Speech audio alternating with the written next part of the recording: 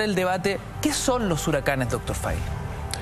Bueno, son sistemas tormentosos de vientos, lluvias y tremenda devastación que se producen en diferentes partes del mundo con una potencia y una velocidad tremendamente fuerte.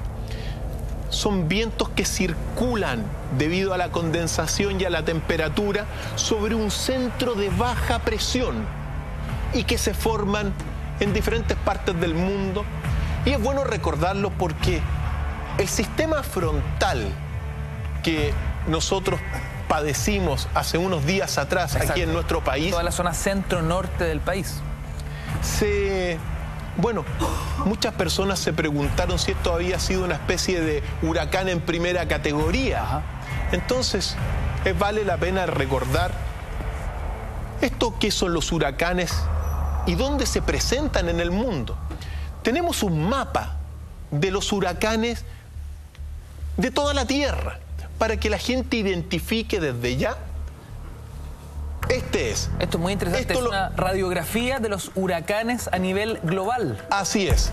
Entonces, para que la gente sepa dónde se dan los huracanes. Interesante, vemos ahí en el mapa clarito que Chile está libre de huracanes por ahora está libre de huracanes por ahora.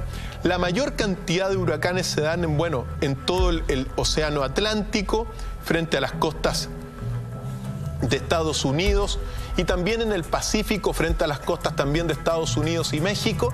Y los llamados tifones, que son huracanes, pero que se dan en el océano, en la parte, en la parte de China esos son tifones, pero son en realidad igual huracanes, tienen otra terminología. Por lo tanto, como vemos acá, estas son todas las partes de la Tierra donde se dan los devastadores huracanes. Y mira, nosotros como una isla estamos salvados por eso. Por lo tanto, uno tiene que decir que el frente de, de lluvias que llegó durante la semana pasada no constituyó un gran huracán, quizá un, primer frente, pero no un huracán como los otros. Habían grandes vientos porque venían acompañados de, estas bajas presiones y también de, la condensación de las, de las nubes por producto del fenómeno del niño. Pero aquí es el escenario. Los huracanes, incluso las predicciones dicen que van a seguir aumentando y se van a volver, al menos según lo que se dice, cada día más poderosos, sobre todo en Estados Unidos. Qué increíble la vulnerabilidad de Estados Unidos según el mapa. Y también todo lo que es China y el sudeste asiático.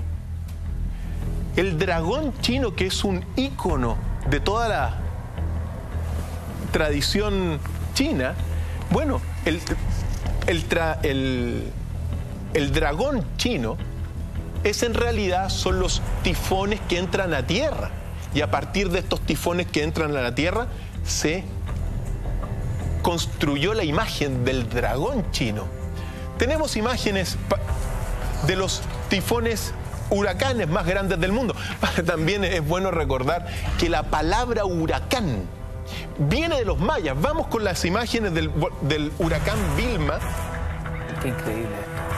Doctor Fail pregunta que me queda dando vueltas, producto del cambio climático, este mapa que revisábamos hace algunos minutos, ¿podría, podría variar en cuanto a la, a la composición de lo que sucedería en eh, Sudamérica probablemente tal? ¿Podría en algún minuto el cambio climático generar huracanes en la zona ya centro-sur de Sudamérica donde Chile podría haberse afectado? Ignacio, es imposible de poder predecir eso hoy día con los modelos climáticos que se tienen. Lo único cierto es que no tenemos huracanes hoy, pero no podemos, hoy día no hay ningún modelo climático que pueda predecir la aparición de huracanes en nuestro continente. No se sabe. Lo cierto es que no hay. Y somos una región libre de estos, bueno, huracanes. Fíjate tú que los, estos estamos viendo Katrina del año 2010. mira cómo se mueve el alumbrado público, tremendo. Causó más víctimas mortales.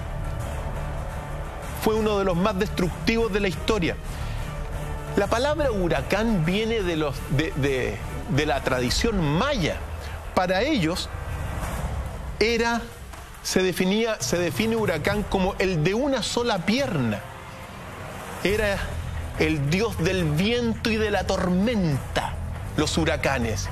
Así que gracias a los mayas los llamamos huracanes. Esto fue en todo caso, estos son los registros de, del huracán Katrina, que al menos desde 1833 al año 2010 que ocurrió, fue el más tremendo y grande y destructivo que ha pasado, bueno, por toda la región del norte, bueno, de, de Estados Unidos y del Océano Atlántico.